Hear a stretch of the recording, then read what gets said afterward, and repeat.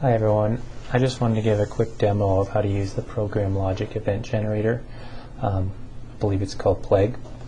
If that's wrong, someone can correct me.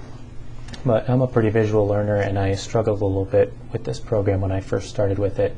Um, definitely by no means an expert now, but hopefully I can show some of you newcomers out there uh, just a quick basic setup uh, and then you can go on and um, develop your own conditions um, way beyond what I'm going to show here.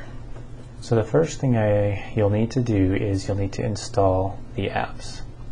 So to do that, you go to the apps, and then you'll choose Install Apps, and then in the search, just type in Program Logic.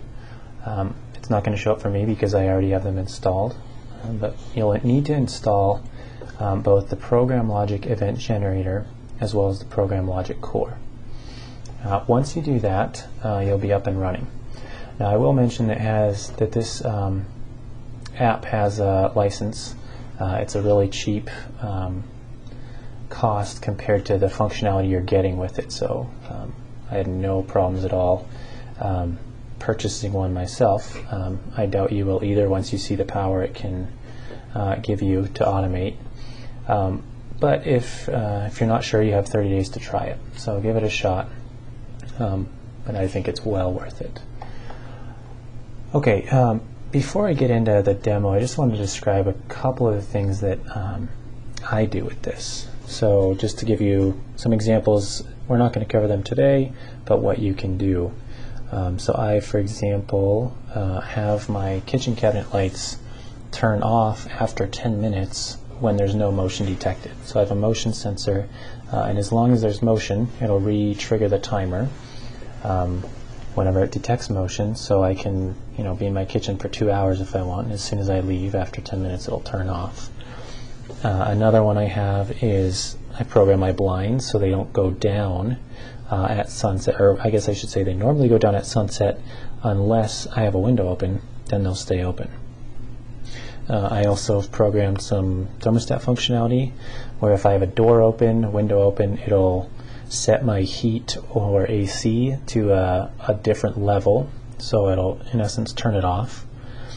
Um, and I have that set for a door window open after two minutes. So those are just some examples. You'll find your own uh, once you get more familiar with it and just see how powerful it is. So now um, what I'm going to do is I'm just going to show you how it works. Uh, for any of these conditions to function to actually perform actions on your conditions, I guess I should say, you'll need to have your um, PLEG device armed. Uh, so this, this is my demo one here for today, uh, and I have it armed. I also have some test switches here that I'm going to use. So what I'm going to do is click on the little wrench icon here, and the first thing I need to do is select some inputs. So I have uh, triggers, schedules, and device properties. So these are the things that I'm going to use to uh, construct my conditions. And then when a condition is satisfied, when a condition is true, I can select an action uh, for that condition. So let me uh, give a brief example here. So a trigger uh, is the first one I'm going to do. I'll select my device here. So I'm just going to choose test switch 1 uh, and I'm going to select the event type. So I'm going to say a device is turned on or off. It's my only option for a switch. And I'm going to give it and I'm going to give it a name. So I'll just call it T switch 1. And I'm going to say under which mode the device is turned on. Now in your condition you can easily check to see if a device is turned off by just adding an exclamation point in front of the trigger name. So you don't have to be too uh, worried about which, if you want to check if it's on or off, because you can reverse that in your condition. Um, okay, so I'm going to accept that. So now I have my uh, T switch 1, and I'm just going to create another one for my switch 2. So I'm going to say my event type is the device turned off or on. I'll name it switch 2, T switch 2 and say a device is turned on. I'm going to accept that. uh, another thing you can do is put in a schedule. So maybe I want to uh, create a schedule for when for between sunset and sunrise. Maybe call it night. So I just leave my, uh, well, you can leave it or not. I leave the S there, so S night, so I know it's a schedule. I'm going to choose my start time, or start type is day of week. So each of these days that you want it to be um, considered, you can check. So I'm going to use all the days because I want to know if it's night any day of the week. And uh, instead of a certain time of day here, I'm just going to choose at sunset. So my time is at sunset. Uh, if you want to do a random delay, maybe for a light turning off or, or on, you could do that. Uh, I'm not. And then I'm just going to choose my next stop type, or sorry, my stop type is day of week. Select all my days. And I'm going to choose at sunrise. So that's going to make this schedule true between sunset and sunrise. So I'll just hit accept there. Now my schedule is created. Device properties, I can choose things like levels. So I have a light level sensor uh, on my outside front porch. So I can choose that light sensor and I can choose current level here. Uh, last update if you want it, but I want current level. And then uh, it tells me my current value. Now it gives me a default name of P1 um, I'm not actually going to use that in this example, um, but you would probably want to change that just so it's a little bit more intuitive. Uh, you could do that just by going edit and then giving it a new name, accept. Okay, so now I've got some inputs here, but I need to use them in a condition to have, have them mean anything. So click on my conditions, and I'll choose add row.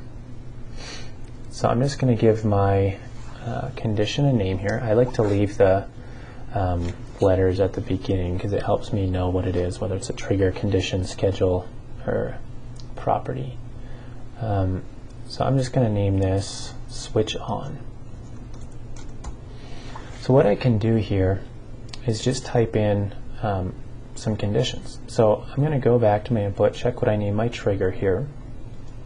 So it's T-switch 1, and I also have T-switch 2. So I'm going to do a condition where if T-switch 1 or T switch 2 is true, um, this condition will become true. So all I need to do is put this in there, T switch 1 or T switch 2. So that means when, because I specified as this is on, when this switch is turned on, this will then be true. Same for this one. Hopefully that makes sense. So when T switch 1 is turned on, that means this trigger will be true. So all I need to do is type that in here. So T switch 1 or T switch 2, that means either one of those switches was turned on.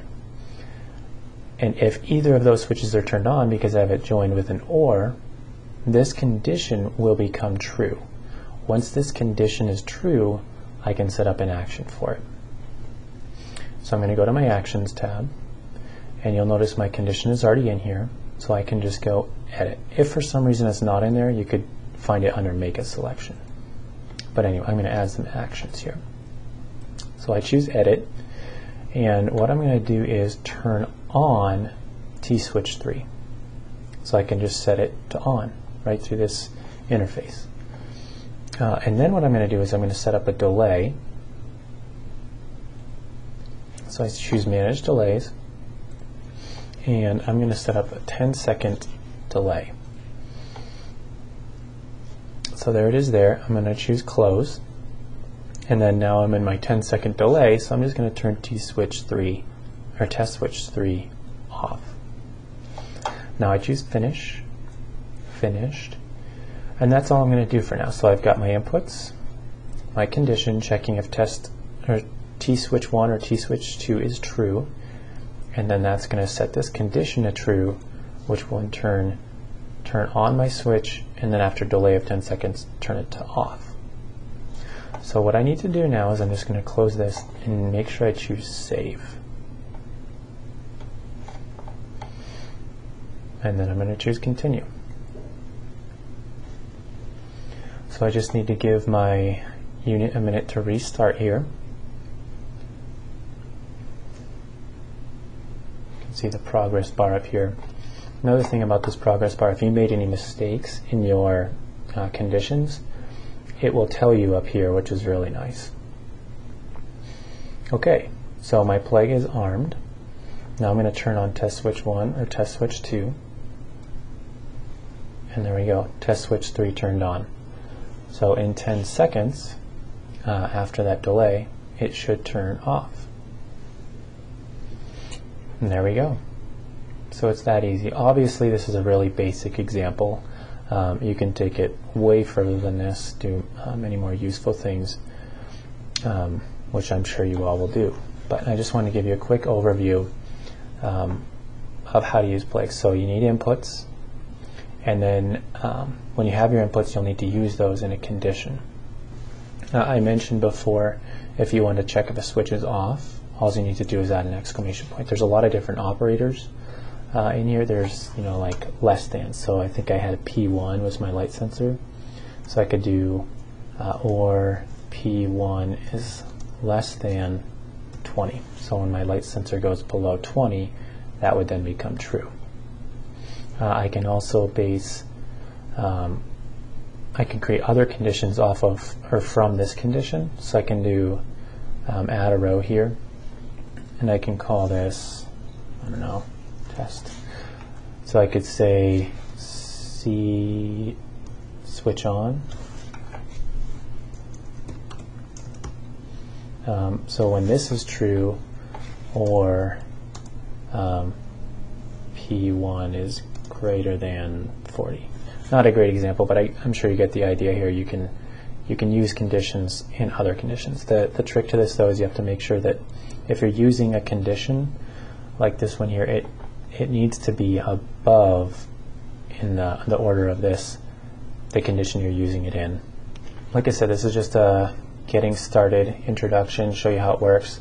Um, the the forum member Rex Beckett has created an awesome introduction, um, or I guess whole manual, if you will, of this um, PLEG.